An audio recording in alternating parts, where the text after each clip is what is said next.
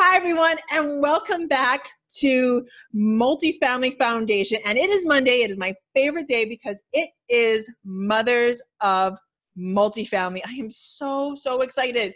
I have Candace Pilgrim on. Welcome, Candace. Hey, thanks so much for having me on. Thank you for coming. I'm so honored to have you on.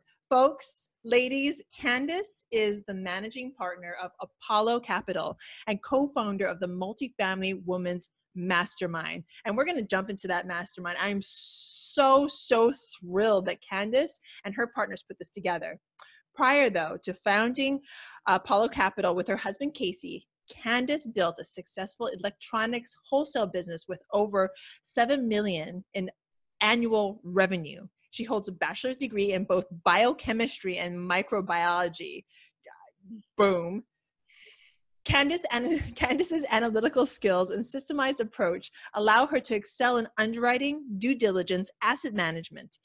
Prior to discovering her passion for multifamily, though, Candace rehabbed and self managed a small portfolio of single family rental homes in Alabama and Mississippi. For the past two years, she has been focused on building a multifamily portfolio to create a passive income stream that will transcend generations. As both an active and passive investor, Candace has invested in over 600 apartment units in the southeastern United States and has built a strong network, network of multifamily partners and advisors to aid in future acquisitions. And this is the most important part she currently resides in Birmingham, Alabama with her husband Casey and her three year old son Carson. Welcome, Candace. thank Hi. you. I'm glad to be here. Well, thank you for coming. So, the big question is, and that is, I mean, biochemistry, what? how how do you do all that you've grown this amazing business you're up to 600 units you you invest actively and passively how do you do all of this? Oh, super mom. well, I think the two big things that I have to remind myself of mm-hmm. would be quality over quantity and let go of mom guilt. So I'll expound upon that a little bit, but uh, first I think I need to give you a little context. So my son Carson, he's three, as you said, he's in daycare Monday, Wednesday, and Friday. So mm-hmm. I always try to schedule most of my meetings, um, calls, any property tours on those days. And then Tuesdays and Thursdays, I'm not saying I don't work, but you know, I try to make those days more flexible, be at home with him more, bring him with me, and kind of make those his special days other than the weekend as well. So another thing I want to point out, I know I only have one, but my Carson is a mama's boy and he not I don't say this to be negative at all, but he is the world's clingiest child. I love it to death, but you know, if he were here, if he were not in daycare, he would be in my lap and trying to Perfect. grab the computer. So um, next time, next time I have you on, I want Carson to be here. Okay.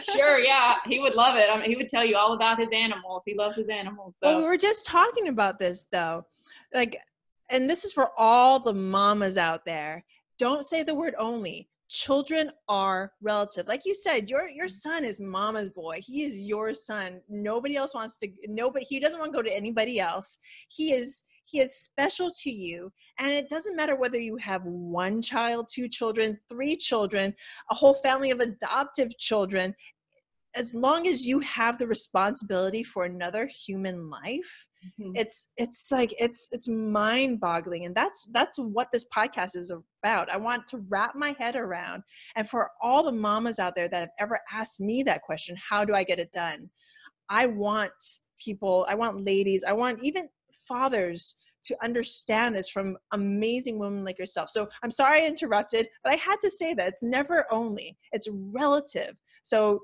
your story is going to be different from anybody else's story. So let's hear it. Yeah, so definitely, I understand what you're saying for sure. And you know, whether you have one or five, or like you said, a whole family of adoptive children, you can apply the same principles. Yes. And you know, the quality over quantity, as I was uh, speaking to, I think that's one thing I've had to learn over the last three years. Is it's not about how much time I spend so much as it is about the quality of the time I do spend with him. So, you know, maybe if I were a stay at home mom and didn't, you know, try to run these businesses, I could spend every second of every day with him. It would be more time. But I think as long as the time I do spend, I'm emotionally present and I listen to him and I focus on him and I'm not, you know, off in another world thinking about everything I have to get done that day. I think that's what's really important. So that's one thing that I've strived to do is make sure that when I do spend time with them, you know, I'm there. And then uh, follow up on that it's as I said, the mom guilt. We all know about the mom guilt, right? Uh, yes. I mean, we've all experienced it. No matter how much time or how high quality of time we spend, we always think we could do more. Mm-hmm. You know, we could do better. I'm gonna regret it. You know, because he's only little for so long. I need to be spending more time, but I've had to let go of that. You know, I've had some other ladies I've had this discussion with in the women's mastermind group. And, you know, we've talked about how you just have to let go of that and you have to remember that what's important is, you know, Carson sees how hard I do work, and it's important for him to see me work hard and to build something and to make something successful because that's instilling that value in him. So I think for me, it's just as important to have him see that than have me spend every second of every day with him. So I've had to let go of that. And I think I've, I've finally, I'm feeling successful with letting go of mom guilt. So how do you let go of mom guilt for for all the mamas out there that are just like entrenched in that feeling and you and I both know what that feels like and how, mm-hmm. how do you let go of that feeling? Well, I think it's about um, calculated time too. Like if you, I know a lot of people that are probably listening time block because time blocking is important. And that's one thing that I did to kind of uh, justify is not really the right word, but to make me feel like that I'm making sure I do set that time aside for him every day, what I would do is um, every morning he'd wake up at 6:30, and from 6:30 to 7:30 that was his time. Like we would go in the living room, we would I would play dinosaurs with him or play animals, and from 7:30 to 8, you know, he would eat his breakfast and I would eat with him and make sure I spend that time with him. But then the day, you know, I take him to, to school if it was a school day, and from then on, like I work, you know from on Monday, Wednesday, Friday, that that's when I get all my stuff done and I make the most of that time. But if it wasn't for that time blocking, I would always be wondering like, you know, did I spend that time with him today? Am I doing enough? So that's one way I guess I let go of mom guilt is to make sure I do set that that time aside for him, even if it isn't a school day. That is a fantastic answer. That's like the best answer I've gotten so far from so many moms is time blocking, making sure, and I do the same thing, making sure that the time you block for your children, you are completely present. Like you said, you put your phone down. You don't think about that multifamily deal that you have going on. It's still going to be there tomorrow, hopefully. Yeah. Hopefully. If you did it, if you did your numbers right and you put all the your action steps in place. We'll get back to that later. um, that will be there though. Like the time that you have with your child won't. So you time block that time, and it sounds like you have it set that you have some morning time, you have some afternoon time, but that block of time that you say Candace work, how do you stop yourself from being like, oh, I should be, I don't know, daydreaming about uh, uh, trip to Disneyland? like, how do you stop yourself from going there? I mean, it's hard. I'm not saying I'm perfect with it. You know, I could definitely improve um, on the time blocking, especially now that uh, as of this week, um, Carson actually dropped naps. So he's no longer taking a nap during the day. Wow. Um, and that has changed his night schedule. You know, he's, he's going to bed a little bit earlier, but um, more importantly, he's sleeping later in the morning. So it's kind of messing up just this week the 6:30 to 7:30 time. Mm-hmm. So he's still kind of all over the place because I'm sure you know, like when a child drops naps, it's not like just one day he takes naps, one day he doesn't. It's kind of somewhere in between right now. So um, I'm sure come January we'll have to kind of um, redo our time block schedule and figure out something else that might work. Since he's sleeping later, we won't, we may not have that time, and I'll have to figure out somewhere else to work it in. See, but that's fantastic. Sounds like something else that you do is you're flexible. Yeah, you have to be. Right? You have to be with kids. Yeah. so, how do you make sure that you keep an open mind that you leave room for that flexibility? Yeah, another thing um, that kind of goes along with your question, you know, I'm I'm a very type A type personality, so uh, going along with that, I stress out easily sometimes, and like I can get overwhelmed when I have a lot on my plate. Um, one thing that I have on my background of my phone right now is a quote, and I wanted to share the quote with you and all the other moms listening because it's, it's it's very important to me. Uh, the quote goes like this: It says, "When little people have big emotions, it's our job to share our calm, not join in their chaos."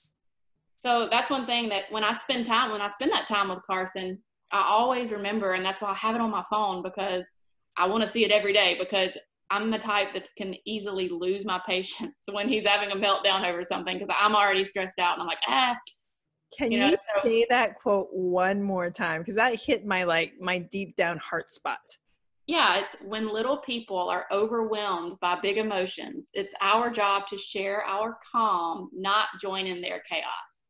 Oh my goodness. That's yeah, it's big. You have to we, you know, you have to really think how they're feeling and they can't you know little people can't handle their emotions you know it might be something simple like the wrong color cup but to them it's like the end of the world you know and they don't know how to handle that so i have to remember you know he's not like doing it to be mean or to be you know to make my life you know more hectic he's doing it because he he needs help he needs a hug you know he needs somebody to just understand and that's one thing i've tried to do is just you know, give him a hug and look him in the eye and say, you can talk to me. You know, I want to, I want him to know early on in life. He may be three, but first of all, he's very advanced for a three-year-old. Like mentally, he, mm-hmm.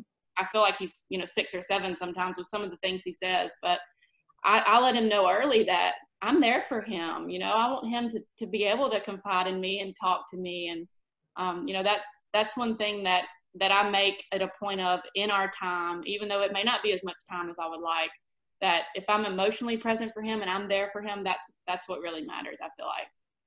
That is, I mean, everything you just said there is so key, and you just you actually just gave me personally so much value because so many times when your children are having those meltdowns and you're just like oh my goodness, why are you screaming about having six chicken nuggets when your brother has seven?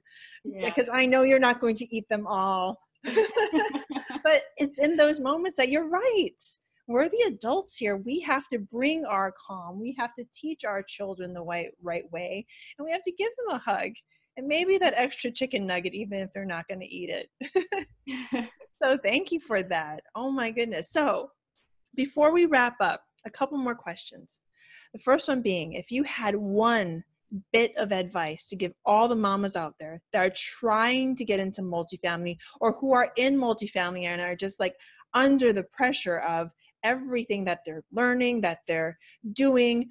One bit of advice that gets you through that pressure, what would it be? Hmm.